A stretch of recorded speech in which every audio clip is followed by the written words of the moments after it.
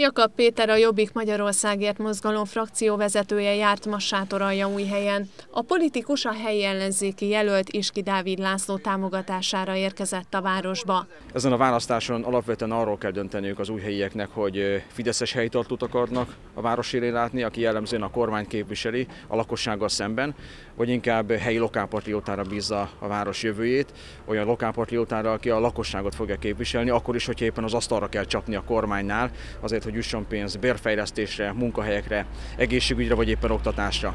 Azt nem tudjuk elfogadni, hogy a magyar kormány olyan politikát folytat, és ebben az új helyi Fideszes vezetés úgy tűnik, hogy partner, amelynek az eredménye egy szervezett lakosságcsere. Ma már az új helyi magyarok jellemzően Szlovákiába járnak át dolgozni, a helyükre pedig Ukrajnából érkeznek vendégmunkások. Mindez pedig azért történik, mert rendkívül alacsony a bérszínvonal. Én magam is a parlamentben több esetben fordultam a kormányhoz határozati javaslattal, hogy emeljük a borsod csoportban élőknek a bérét, azért, hogy megállítsuk a brutális mértékű elvándorlást.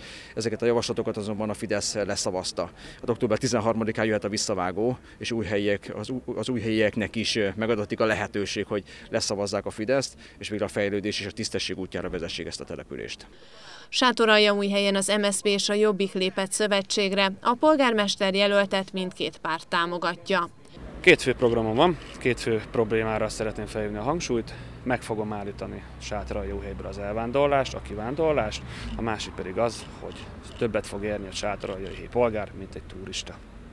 Az önkormányzati választásokra buzdító utcai fórumon megjelentek a Jobbik és az MSZP helyi képviselőjelöltjei és a megyei listán induló ellenzéki képviselők is.